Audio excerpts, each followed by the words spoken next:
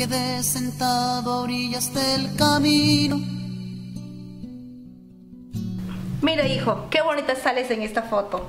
Ay, mamá, ya no soy un bebé, tengo 16 años. Ay, y mira, acá te están entregando un diploma, ¿te recuerdas?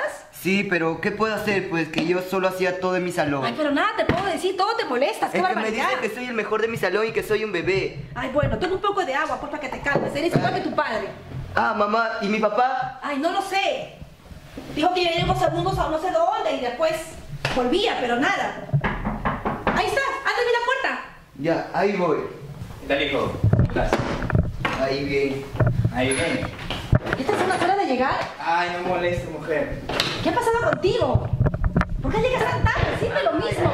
Eh, ¿Qué te importa? ¿Cómo que Más no me bien, importa? ¿Hay algo para comer o me voy ahorita? Y encima quieres que te sirva algo para que comas. Es el colmo contigo. Te pasas.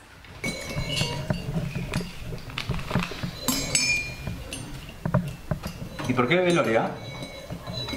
¡Ey! ¡Ey, Pablo, estoy hablando!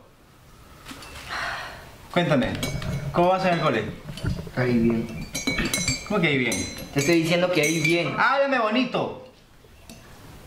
Mujer, ¿cómo va el Ay, no sé, pregúntale tú. Él es tu hijo. ¡Tú eres su madre! Pero no me alcanza el tiempo para ir al colegio. ¿Cómo que no te alcanza el tiempo? No me alcanza el tiempo. Estás acá metida todo el día. Yo trabajo todos no los días. alcanza el tiempo, no me- desde temprano no me hasta la molestes, noche. no me molestes, Tú estás acá todo el tiempo. Es tu hijo. No me amares ni me hables así porque estoy a punto. ¿Qué? Estoy a punto ¿Qué? tiempo.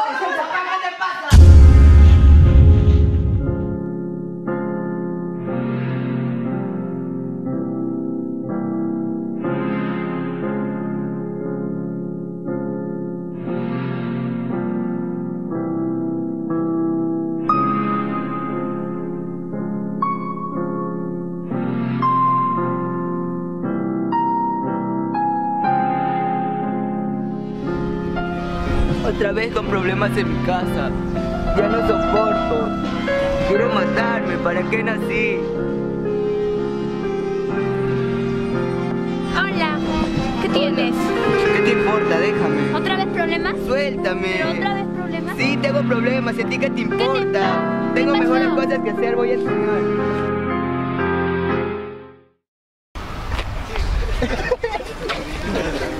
Ya todos se me callan. Pónganse pila. ¿Y qué pasa acá? ¿Son idiotas? ¿No entienden? Ya, Diego, Pablo, vengan para acá. Ya quiero que escojan a su gente. Ya, yo primero, ¿no? Ya escoge. Se va con loca, ven para acá. Cale perro, ven para acá. Niño con problemas, ven. Quieren que la oye, quieren que la oye. Ya, José, ven para acá. Sombra, sombra negra. Ya, ven Gonzalo.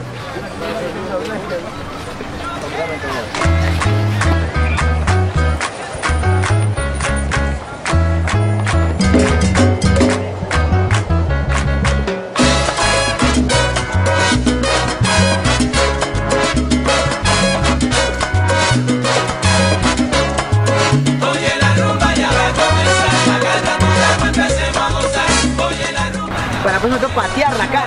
Voy a patear la cara.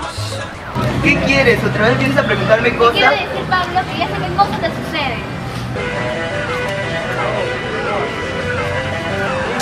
Ay, vete, yo voy a solucionar mi ¿Qué, problema. ¿Cómo? ¿Cómo quieres solucionar? ¿Peleándote como tu padre, que siempre le sucede?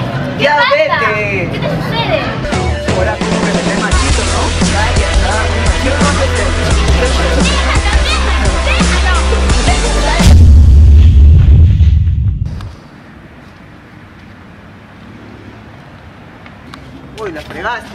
fregamos. La fregaste, vamos. Auxilio, auxilio, que alguien me ayude, por favor. Yo de repente me quedé tan solo. Yo de repente me quedé vacío. Tirado en un rincón cualquiera del destino. Ah, mamá, ¿y mi papá? Ay, no lo sé. No me amares ni me hables así porque estoy a punto. Estoy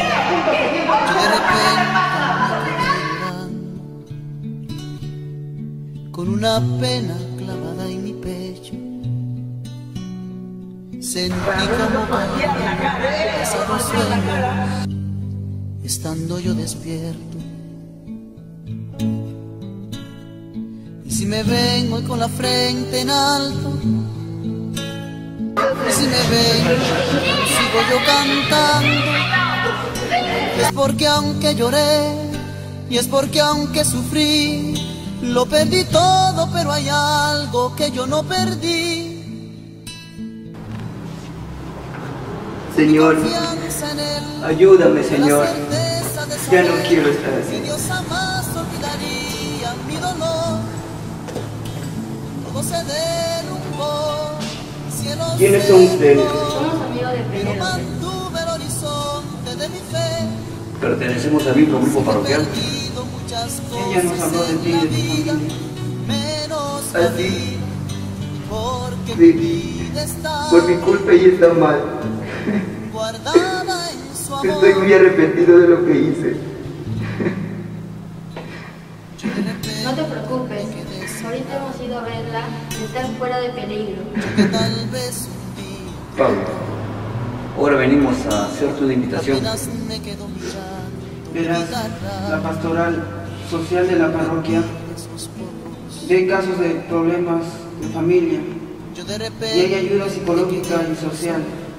Y además te- hay gente que te puede ayudar a ti y a tu familia. quedé vacío, ¿Y ¿Qué dices? tirado en ¿Quieres un rincón grupo? cualquiera ¿Te animas? del destino, No estás solo. Jesús está contigo. Y si me ven hoy con la frente en alto, y si me ven que aún sigo yo cantando, es porque aunque lloré, y es porque aunque sufrí, lo perdí todo, pero hay algo que yo no perdí. Fue mi confianza en Él, fue la certeza de saber que Dios jamás olvidaría mi dolor. Todo se derrumbó, mi cielo se nubló, pero mantuve el horizonte de mi fe. Sé que he perdido muchas cosas en la vida, menos la vida, porque mi vida está guardada en su amor.